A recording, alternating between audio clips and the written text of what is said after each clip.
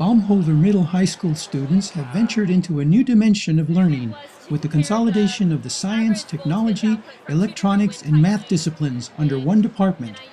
STEM, as the new learning concept is known, not only consolidates curriculums, it also cross teaches students so they learn how one subject relates to another.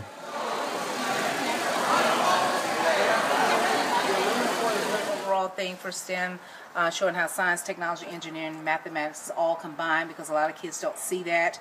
And so we're going to be trying to work on interdisciplinary units next year to show them how these things are related and do um, lesson plans based on that, unit plans based on that at the beginning of the year. It's worked out really well because we pulled together a lot of things. I mean, uh, we have one big department meeting. We have a um, kind of a, a more collegiality situation where we're talking more and, and working more. To emphasize the concept of cross learning, the school's first STEM Expo required several students to apply what they learned in separate classrooms to their overall STEM project. You have to know more than science in order to, to get ahead. You need to incorporate the science and the math and the computers and the technology and get them all together so you can do something with that information and integrate it to the best of your ability. So how do you like the STEM project?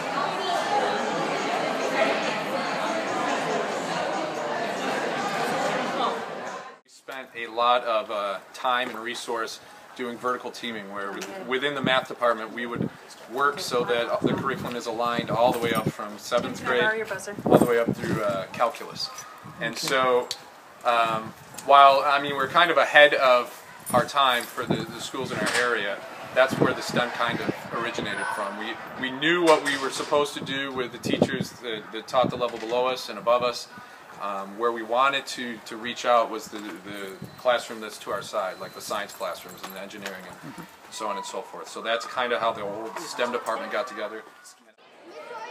The Department of Defense education activity is placing a lot of emphasis on science, technology, engineering, and math, and Baumholder Middle High School is the only school in DoDEA that has established a STEM department which serves to emphasize the importance of these fundamental subjects.